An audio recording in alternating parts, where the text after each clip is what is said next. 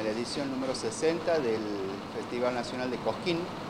Como todos los años, Santiago va a tener una participación muy activa, comenzando por supuesto desde los inicios del festival con el stand institucional, con artesanos, pasteleras, muebles originarios de Santiago y particularmente eh, hoy anunciar la presentación de Santiago el próximo martes 28 de enero, cerca de la medianoche, en el escenario mayor del Festival de Cosquín, en el segmento Postales de Provincia.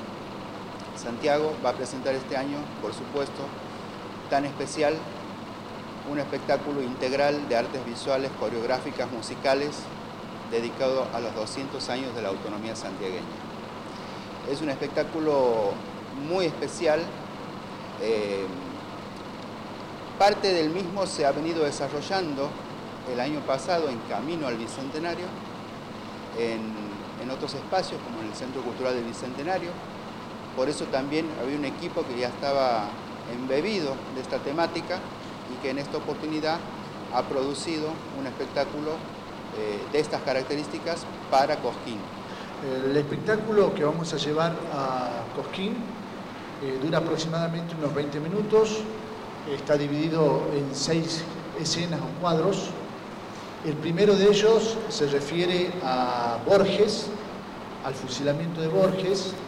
Todo esto está combinado, por supuesto, con la danza, la música, el, teatro, las canciones, lo audiovisual, la plástica. Eh, la primera escena, es, como les decía, se denomina fusilamiento.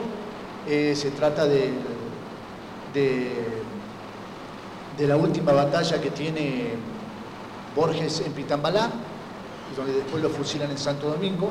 La segunda escena se denomina Basta, es cuando el pueblo de Santiago este, quiere tomar sus propias decisiones y donde define que Santiago no es subalterna de nadie y de nada, ¿no es cierto? Y donde se resiste a formar parte de la República de Tucumán. La tercera escena es la llegada de Ibarra, cuando lo nombran gobernador y se convierte en nuestro primer gobernador. La, escena siguiente también eh, nosotros tocamos el tema del casamiento, donde ahí vamos a ver algunas danzas que no son folclóricas,